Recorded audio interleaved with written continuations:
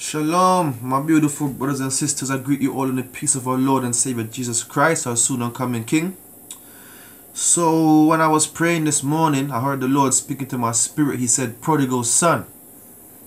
And I automatically knew that He wanted me to do a message to the brothers and sisters about the prodigal sons and daughters. Amen. That they should return home unto the Lord. So, in obedience, I'm doing this message. I'm going to be reading from Luke chapter 15, verse 11 through to 24. Amen. Let's begin. And a certain man had two sons. And the youngest of them said to his father, Father, give me the portion of goods that falleth to me. And he divided unto them his living. And not many days after, the younger son gathered all together and took his journey into a faraway country, and there was wasted his substance with riotous living. So he said, Lord, I want my portion. What is it that you have for me out of your riches, out of your life savings? He collected all that he was given by his father.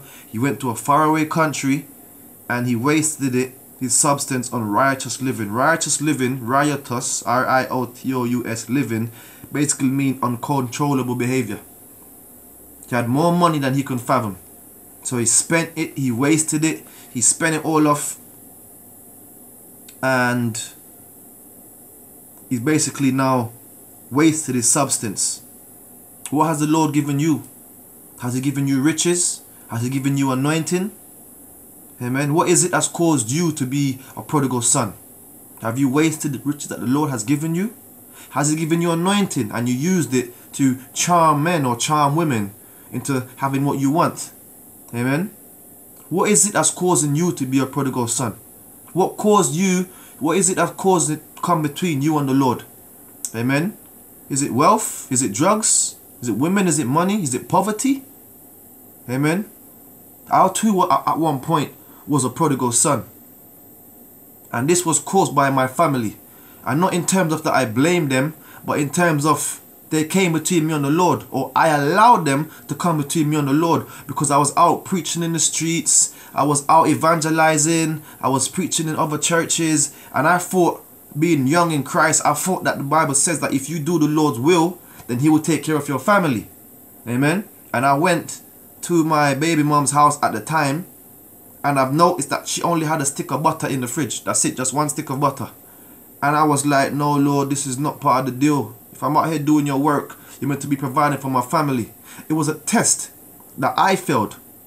And I failed it because I immediately decided that, you know what, I'm going to the countryside and I'm going to start selling what I want to sell to do what I want to do to make money. Amen. And I remember actually the Lord, He came to me while I was there.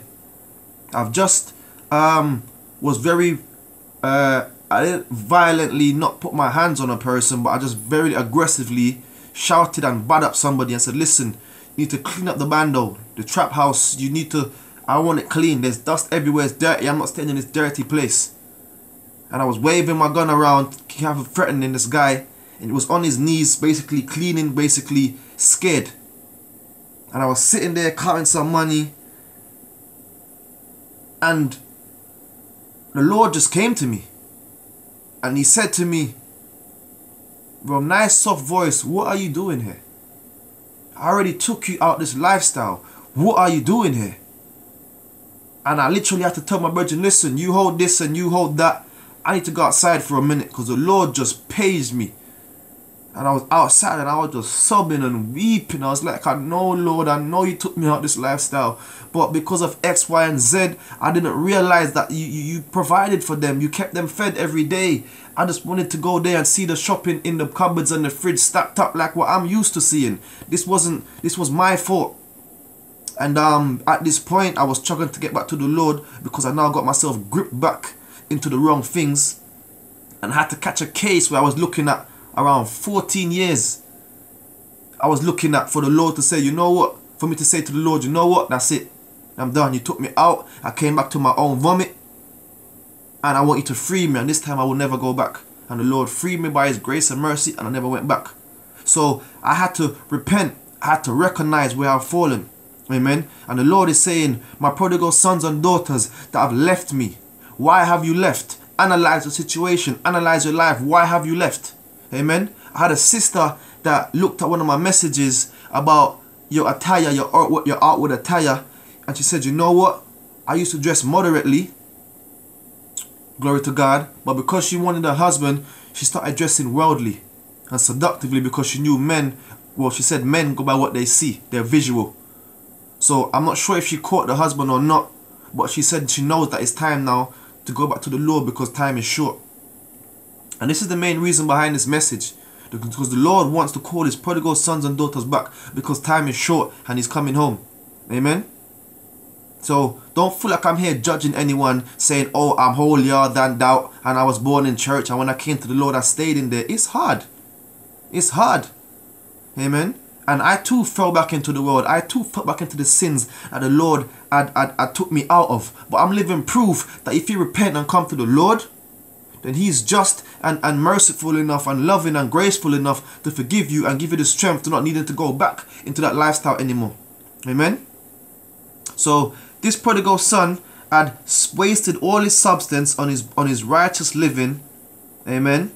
Spend it all off. Spend all the wealth that his father was giving him. Amen. Verse 14. And when he had spent all, there arose a mighty famine, and in that land, and he began to be in want.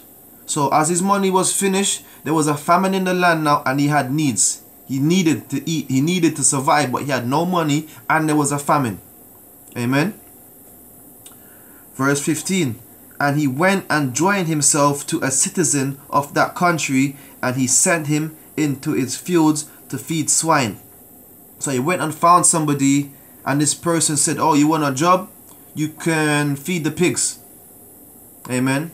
He went from being up there, wealthy, now he's down here feeding pigs because there's a famine and he's on one.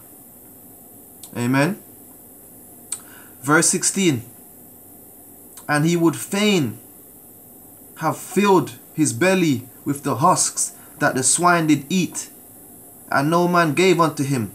So now he's actually eating what the pigs are eating because even though the brother got him working, he ain't feeding him. No one's not giving him food. No one not feel sorry for him. Just gave him a job and left him down to be in there eating with the pigs. Amen. Like things got really bad for him. Amen. Now, we're going to look at Genesis chapter 3 verse 8 because at this point is a critical situation in his life. He had to make a decision where am I going to continue to eat with the pigs? Am I going to continue to live in my sin? Or am I going to go back to the Father? Amen. So let's go to Genesis chapter 3 and it's verse 8 and 10. Amen. Genesis chapter 3 and verse 8 says, And they heard the voice of the Lord walking in the garden in the cool of the day, and Adam and his wife hid themselves from the Lord. Why? Because they just ate the fruit that the Lord told them not to eat. And there was a shame because they sinned before the Lord. Because sin brings shame and guilt. And, and, and, and sin makes you not want to be in the presence of God. You don't want to go to church. You don't want to pray. Because sin bounds you with chains and makes you want to hide from God. The Bible says that they hid from God. Amen. And verse 9 says, And he said, I heard thy voice in the garden, and I was afraid. They're now afraid of God and hiding from God because of sin. This is what sin does. Makes you not want to pray, makes you not want to go to church, makes you want to hide from God. Amen. And so at this point, he had to make a choice. Am I going to continue eating with the pigs? Or am I going to repent and go back to the Lord? Amen. And this, I believe in Second Chronicles, Second Chronicles says, um, if my people which are called by my name shall humble themselves and pray and seek my face and turn from their wicked ways, meaning their sin, then they will hear from heaven and I will forgive their sin and I will heal their land. So the Lord said in his word in, in Second Chronicles, if, if my people repent of their sins and turn to me, I will heal their land, I will heal their body, I will heal their mind, I will heal their heart, I will heal their soul. Amen. And so we continue. Verse 17.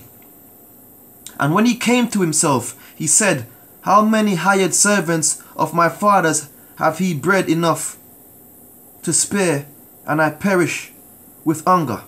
So he came to himself and he says, Wait, my father is rich. Why am I sitting here eating with the pigs? I mean, my father is so rich that he hired many people and he still have bread to spare. And I'm here perishing with hunger, meaning he got to the point now he was so hungry, he was going to die of hunger. Amen? And he's saying, wait, but my father is rich. Why should I sit here and die of hunger? I need to understand that your father is merciful. Why should you sit here and die in your sin? Amen? And so he had to check himself. Amen? He had to check himself and says, wait, what am I really doing? Am I going to die in my sin? Am I going to die in my hunger? Amen? And so we need to make a decision. What are we doing? Because what he could have done was sat there and blamed his father. Oh, you didn't give me enough money, that's why it finished. That's like many of us in a situation that would choose to blame God. Oh God, if you're so real, why have you got me living with pigs and eating with the swines? No, it's not God's fault. And it's about time that the church wakes up and stop making decisions without God and they want to blame God for the consequence of the decisions that we made without God. Amen. He chose to go to a faraway land and squander his money. So would he have the right now to blame God for the way he's living? No, because he didn't say, Lord, what shall I do with this money? Because the other brother, if you read from 24 down to 32, he multiplied the money and he grew the money and he, he invested it and he was doing pretty well. Amen. But this brother was going by the leadership of the Lord. This other brother didn't seek the Lord's counsel. He just took all that money and thought, hmm, what I want to do? First I'm going to do is move away and squander the money. But if he asked the Lord what should he do, then the money would have multiplied. He wouldn't have became broke. He wouldn't have became eating with the pigs and still dying of hunger. Amen? So we need to stop making decisions without the Lord and then blaming God for the outcome of the decision that we made without involving God first. So now he was at a critical point where he was about to perish with anger and he had to analyze the situation and say, hmm, what am I going to do? Am I going to continue like this and die in my sin? Are you going to continue being a prodigal son and daughter? Or are you going to return to the Lord? Amen. And verse 18 says, I will arise and go to my father and I will say unto him, Father, I have sinned against heaven before thee. And he came to the conclusion the smartest, the wisest, and the best thing for him to do is to go to the Lord and go to his father and say, I have sinned against heaven, forgive me. And some of us need to go on our knees and say, Lord, you know what? I confess. I try to do it my way. My way don't work. The more harder I try, the worse I become. The more I try to fix things my way, the more I end up in destruction. Amen. Because when we walk away from God, when we become a prodigal son, we can no longer fix our life. It's like this phone. This phone drops now and it breaks. I cannot fix it because I did not invent or make the iPhone. I don't know the ins and the outs how to fix an iPhone. But when you bring it back to the original creator of the iPhone and they can bring it back to who made it and invented it, that person can fix it. You're not the author, author of your life. So whatever is broken in your life, whatever is calling you to fall away from the Lord, you can't fix that by yourself. You can't stop smoking. You can't stop partying. You can't come back to the Lord unless you go to the Lord and say, Lord, help me. I need your strength. Amen. I couldn't stop drinking or smoking without the Lord. I couldn't turn away about certain lifestyle from without the Lord's help. And in the very same way, we have to go back to the Lord. And he came to his senses and said, you know what? I can't do this on my own. I've tried. I've tried to get a job after I've spent all my money and I'm eating with the pigs. And I'm dying for hunger. There's no point in me dying for hunger and my father is rich with spare bread. And there's no point you dying to sin when when when when when Jesus said, "Who the Son sets free is free indeed." Amen. So he thought about it and he came to himself and says, "You know what? This is what I'm gonna do. I'm gonna go back to the Lord." Amen. And so, verse is 18 when he was saying, I'll go to the Lord and say, You know what? I've sinned against thee. Verse 19 and am no more worthy to be called thy son, and make me as one of thy hired servants. So now he, he felt so bad, he didn't want to be called a son no more. He just wanted to be known as a servant. He just wanted to be the least in the kingdom. He just wanted to be the smallest because he know what he has done. But he need to realize that, as he says, I was I am no longer worthy. He wasn't worthy in the first place. I wasn't worthy. None of us was worthy. The only thing that we was worthy of is hell and death. Amen. Jeremiah chapter 3 verse 12 says, Go and proclaim these words towards the north and say, Return thou backsliding Israel, said the Lord, and I will not cause mine anger to fall upon you, for I am a merciful God, says the Lord, and I will keep not my anger from thee. So the Lord is saying, Hey, if you repent and come to me, though backsliding, Amen. I will be merciful towards you, and I won't cause my anger to be upon you. Amen. And this is what this is the point where he got to, where he realized that you know what? I need the Lord. I need his mercy. I need my Father's mercy. I need his love. If I go back and I confess that I've sinned against heaven, he will forgive me. And the Lord is saying the same thing. You backsliders out there. You prodigal sons and daughters out there. If you return unto the Lord, he is merciful and just to forgive your sins if you just repent. That's all he's saying. Just repent and come back. Amen. I know a testimony of a lady a man, I don't remember, but this person had a Bible. It was up on a shelf. It stayed up on that shelf for years and it gathered dust. And they walked past it every day and it gathered dust. And one day they picked it up and they opened it. And as they opened it, the word spoke to them. And they broke down in tears. And then the Lord said to them, I never left you. I was with you. You left me. Amen. And they, they was amazed that all they had to do was just pick up the Bible and the Lord was with them again. For he says, I will never leave you nor forsake you. So the Lord don't leave us. We're the one who leaves him. And he says, if you repent and come back to me, my grace and my mercy is sufficient is enough. Amen. Because he's now here saying in verse 19, I'm no longer worthy. You was never worthy in the first place. Amen. Bible said that the Lord died for us while we were sinners. Amen. Because we all fall short of the glory of God. That's what the Bible says. Amen. For we was born in, in iniquity and we were shaped in sin. Amen. So Isaiah chapter 53 verse 5 says that he was wounded for our transgressions. He was bruised for our iniquity. The chastisement of our peace was upon him. And by his stripes we was made healed. Amen. We was never worthy. He did it all for us. Amen. He took it all on for us. He did it all for us. Amen. And so as he was saying here that I'm no longer worthy.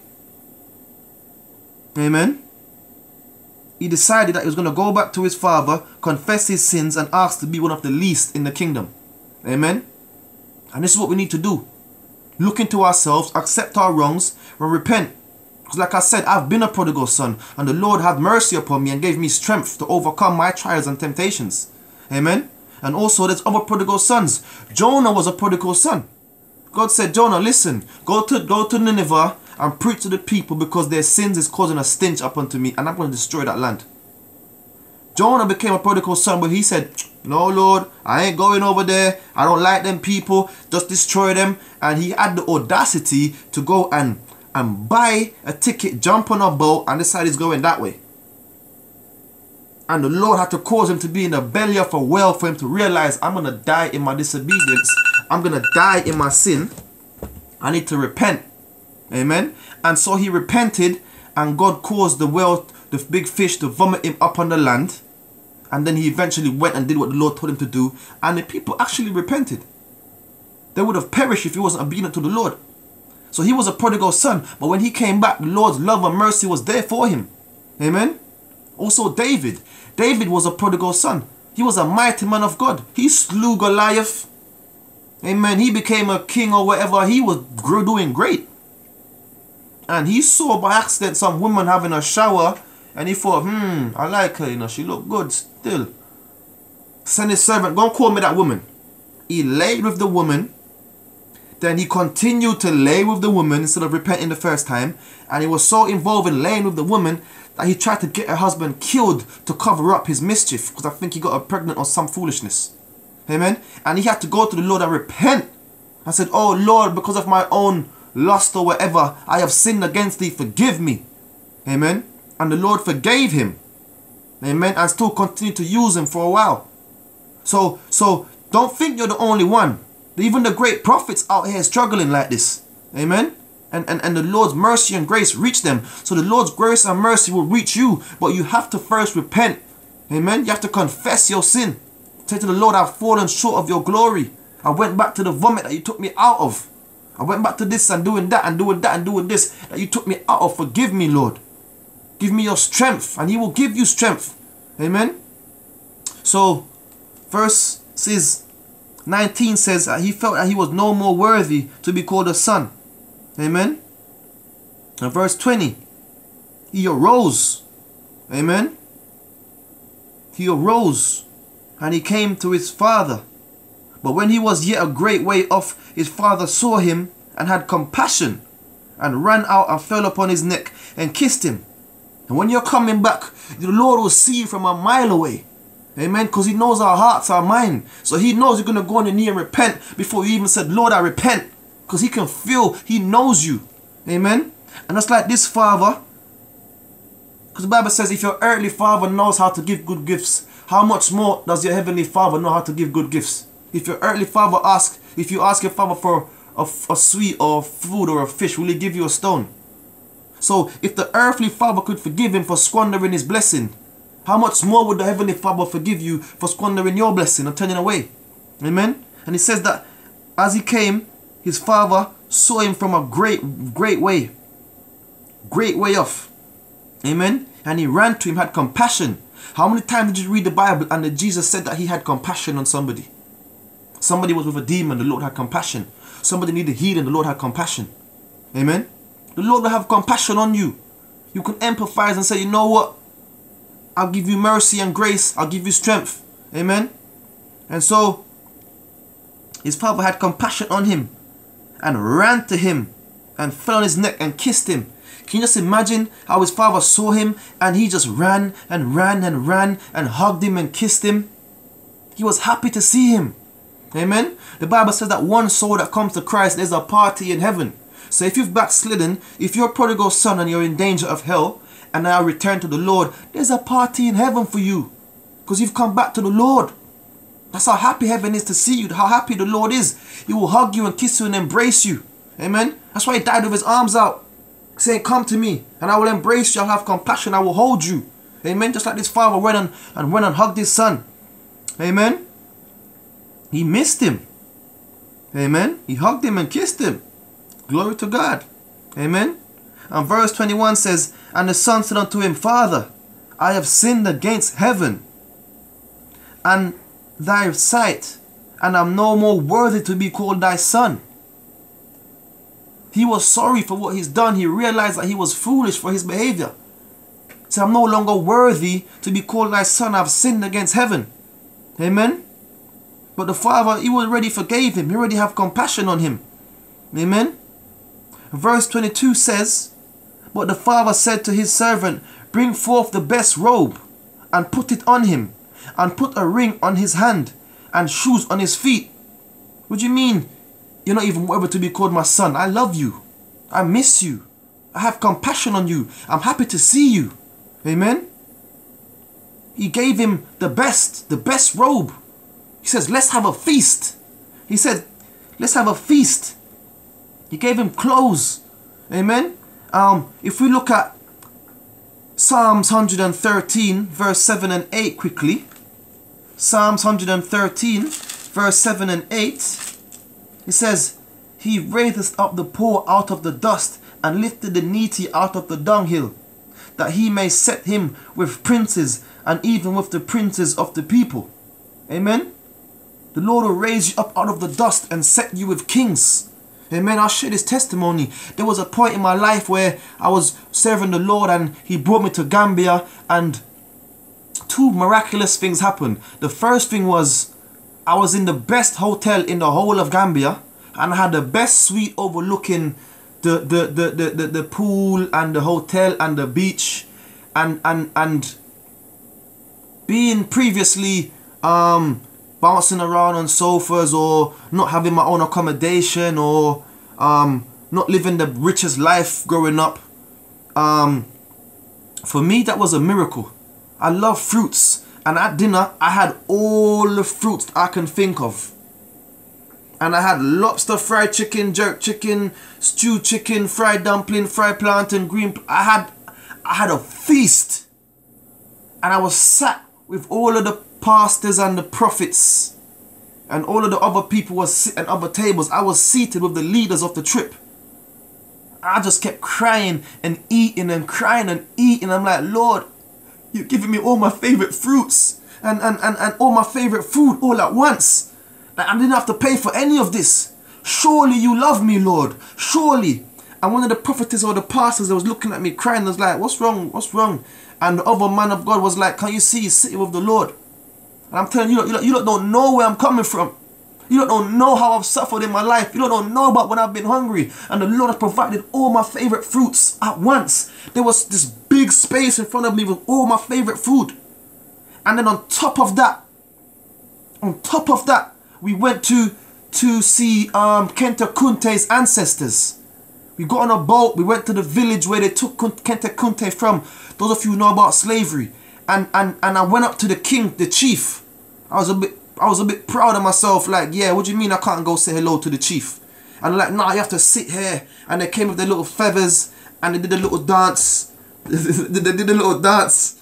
And they're like, you have to sit here. And I'm like, nah, that's my ancestor. That's my great, great, great, great ancestor. I'm gonna go say hello to him. And he, he honored my courage when I went there and shook his. I was like, you can't shake his hand. And I'm like, what's wrong with you? Lord's with me. I can do what I can do all things through Christ. And and I shook his hand. And I did a little dance as well that they were doing, and he liked it and he sat me with him. Now, the prince, head chief of Gambia, I'm sitting with him like a king, sitting with him. While the rest of the people, and so when the Lord says, I will seat you with kings, when he says that I will provide, don't take it, these scriptures are real. Amen. Just share the small testimony, brothers and sisters. Gonna wrap up though, because I know you don't like long messages. Amen. But it's worth it. Amen. You sit and watch a stupid movie for hours that don't edify your soul. This message is from the Lord. It will edify your soul. Sit through it. Bear with me. Amen. Glory to God. And verse 20, 23. Amen. And he said, And bring hither the fatted calf and kill it, and let us eat and be merry. So he went from eating with the pigs, eating pig food, to almost dying for hunger, to coming back, and the biggest fat calf was about to be killed to create a feast. Amen. Excuse me. Glory to God. And verse 24 said, And this my son was dead and now is alive. Glory to God. How many of you know that there's two deaths in the Bible? The first death is to be separated from the Lord. That's why when the devil told Adam and Eve, if you eat the fruit, you, you will not die and they still was alive. They was alive, but they had the first death to be cut off from the Lord. The second death is the physical death. The first one is spiritual, the second one's physical. Spiritual death means being cut off from God, and the physical death is actually dying in the dirt. So his first, said, this my son was dead, he was cut off from me. And he's alive again. He's back to me. Amen. And the Lord don't want you cut off from him. He want you back with him. Amen. And for this my son was dead and is alive again. And he was lost and is found and, and they begun to be merry. Amen. The songwriter says, I was blind, but now I see. I was lost, but now I'm found. Amen. Amazing grace who saved a wretch like me. It's amazing grace. It's the Lord. Hallelujah. It's the amazing grace of the Lord that brought him back to his father. And it's the amazing grace of the Lord that is sending this message out to you saying, Come home, my prodigal son. Come home, my prodigal daughter. I will robe you with the finest robes. I will put you in a garment that is white without spot or blemish. Amen. I'll give you feast for your hungriness. Amen. Hallelujah. Understand God's love. Understands God's grace. Understand God's mercy that's reaching out to you right now. Right, right now. Amen. Who else was a prodigal son? John chapter 1. Hallelujah. John was a prodigal son also. Amen. John walked with the Lord. He, he, he, he saw him do all these miracles and he denied the Lord. That became that made him a prodigal son because he was away from the Lord. He denied the Lord. And when, when the Lord died, he went to fishing. The Lord said, I'll make you a fisher of men. So he should have continued to preach the gospel when the Lord died, but no, he went back. And when sometimes we get cut off from God, we go back to what we was doing before we met God. If you was clubbing, you went back to clubbing. If you was smoking, you went back to smoking. If you was violent, you went back to being violent. If you was on the road, you go back to the road. Because you go back to what you know. Amen. And and, and Peter went back to fishing. Amen. First first John chapter sorry, John chapter 21, verse 1 to 9 tells you the story. Amen. Because the Lord was risen back up from the dead in, in um in John chapter 20, And this where he saw he saw Thomas. And Thomas could even believe. And the Lord was like, take your finger and put it in my side where they pierced me. Now do you believe? And he believed. And the Lord told him, listen, you believe because you saw. But great are those who believe without seeing. Amen? And then he went on to Peter now. And Peter and them was fishing. And the Lord was like, cast the net on the other side. And they still couldn't even realize that the Lord was there with them because that's how they met Jesus in the first place. He said, cast the net and they caught bare fish. So now, the Lord went to them and said, Oh, Peter, Simon Peter, cast the net on the other side. And then they cast the net and they pulled up a loads of these fish and they still didn't realize it was the Lord. And a lot of you right now are still not realizing, listen, the Lord is reaching out to you through this message. You need to realize. And then the Lord said, Peter, it is I. And then I was like, oh no, Lord, it's you. And they was happy. And then the Lord reconciled by saying, Peter, I love you three times. Because Peter denied the Lord three times. Amen? He reconciled with Peter. And, and at that moment, Peter was no longer a prodigal son. And he became one of the mightiest. When you read Acts, woo! Peter's the one that said, listen, I have silver or gold. And I, I don't have no silver and gold. But what I have in the name of Jesus, get up and walk. Amen? And did all these miracles. So that people brought men that was even that his shadow would heal people cast out demons, heal the sick. He was doing the most miracles for the Lord. Amen. I love Peter's anointing. Amen. So don't think the Lord will just come back and make you a slave or a servant or the least. He will still raise you up to be in that position that he called you to be in the first place. Amen. But first you have to repent and come back to the Lord. Amen. Now, brothers and sisters, understand what the Lord is doing right now. Because in Luke chapter 15 verse 4, he says this. Hallelujah. Because the prodigal son was Jesus speaking. Jesus was the one speaking. Amen. And he says, The kingdom of heaven is like unto this. And then he told them the story of the prodigal son. But in verse 4, chapter 15, he says, What man of what man of you, having an hundred sheep, if he lose one of them, does not leave the 99 and into and go into the wilderness after the one which is lost? So he said, even though I have 99 of my sheeps, that one prodigal son is worth me leaving the 99 and going to the wilderness and searching for them. Amen. The Bible says that that um you basically will carry that sheep, embrace him in his arm. Because verse 5 says, And when he has found it, he layeth it on his shoulders, rejoicing. When he searched and he found that one sheep, he put on his shoulder rejoicing. That's like how the prodigal son hugged his, his, his prodigal father hugged his son on the shoulder and kissed him on his cheek and he rejoiced. Amen. And the Lord is saying, just like that one sheep, don't matter how, how unworthy you think you is, I died for you. I shed my blood on Calvary for you. If you was the only one on the planet that was meant to be saved, I would have came and done it. And if it requires me to do it again for you to become a prodigal son and come home, I would hang on that cross again for you. It's the love of God. Amen. The love of God, because the Bible said the Lord so loved the world that he gave his only begotten Son, that whosoever believeth in him, amen, shall have eternal life and not perish. Amen. And the reason why the Lord is calling back his prodigal sons right now is not only because the harvest is plenty and the laborers are few and you're one of the laborers. It's not only because many are called and few is chosen, but you are chosen, but because the Lord is coming back. He says in the end times I'll pour my spirit upon all flesh and all men will dream dreams and have visions. Young men will dream dreams and old men will have visions, whatever. It's happening. Thousands and thousands of people having rapture dreams. But it's not only rapture dreams. There's flood dreams. There's fire dreams. There's dreams of comets. Amen. There's dreams of destruction that's coming. The mark of the beast is here. Amen. So, can you imagine if you're a parent and you have to do a school run and you got five kids in the school, but you're only allowed to pick up two of them kids? How heartbreaking is that? And this is what the Lord is doing. He's saying, My prodigal sons, come because I want all five of you. I don't want to come and get only two of you. Amen. And but understands that the Lord has got his arms open, calling all his prodigal sons and daughters, return unto me, repent of your sins. My grace and mercy is here waiting for you. Because even though I can come and get the two sons, I will wait for the five. But there's a time period, there is a cutoff point. Amen. There's a, there's an end of the church age that's coming. There's a there's a point where grace will not be found on the earth no more.